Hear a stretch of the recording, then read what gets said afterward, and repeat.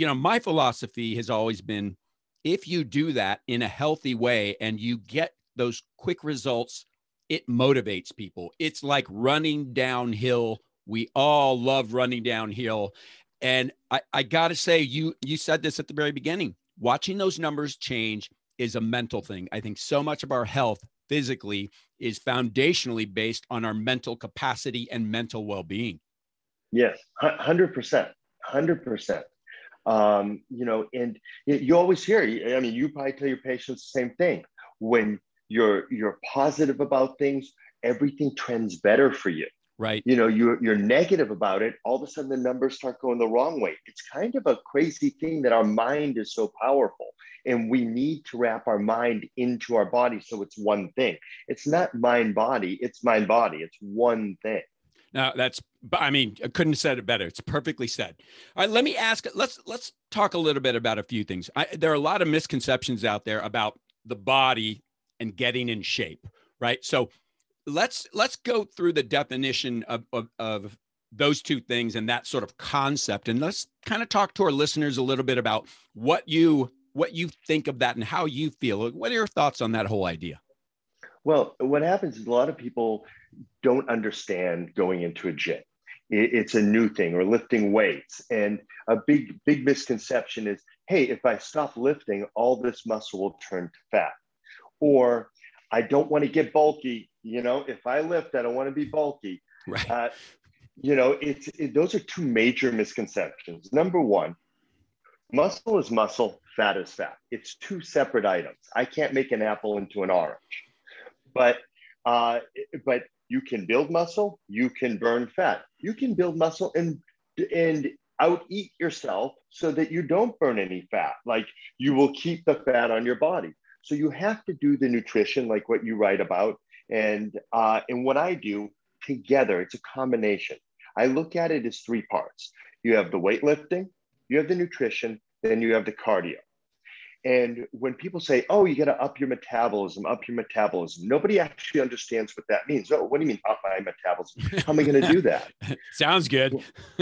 yeah, it's like, oh, that'll work. Yeah, right.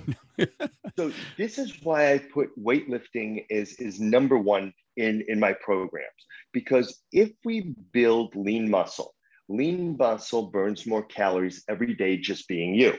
So by upping your metabolism, what we're trying to do is chase time.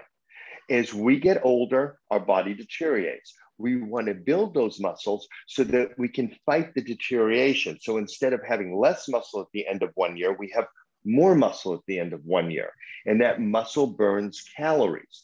The more calories it burns, the, the more wiggle room we have in our nutrition. Um, so then, then we have to make sure the nutrition is on point. And then thirdly, and I bring it down a rung, is your cardio. We have to do enough cardio to keep our heart healthy, get us sweating, get our body to lose extra calories, but it's not what I want to base our program on. A lot of people base their program on cardio. They'll right. do way too much cardio and they don't realize why if they don't do cardio for two three days all of a sudden they gained weight it's right. because they're they're pushing it down and pushing it down and so you you need to really base it off of weights nutrition cardio down below i love that and, and i'll tell you and i bring this up to patients all the time right around, and you know this better than I do in the whole concept. You know, when we get to about 30 years old, we start to lose muscle mass.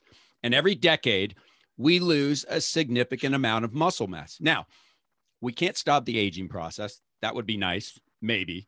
Uh, but you can slow down. You know, our, our bodies are just in this world of inflammation, right? We're battling inflammation. You know, when you watch these professional athletes at the end of a game get dropped into a bucket of ice, it's really like putting out the fire, right? That entire fire of the body. So, everything, I, I can't think of a day where I've discussed inflammation less than 30 times with patients.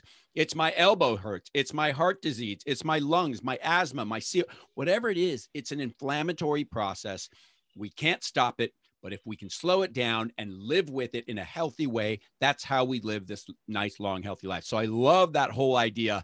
And the other thing you mentioned this, you know, you can out eat all the exercise in the world. If you do not have sound nutrition, and now I'm, I'm gonna, I can't wait to, I'm a little apprehensive to ask this question, but I've always said, as it pertains to weight loss specifically, not so much cardio and musculoskeletal and strength training, as it pertains to weight loss specifically, I really feel it's like 80 or 85% food and 10 or 15% related or 15 or 20% related to exercise.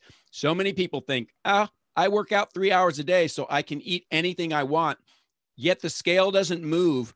It has to go back to these three building blocks, as you said them, and and they work sort of cohesively, right? It's that, you know, that that collective effort between the three, and I, I love that you bring that in there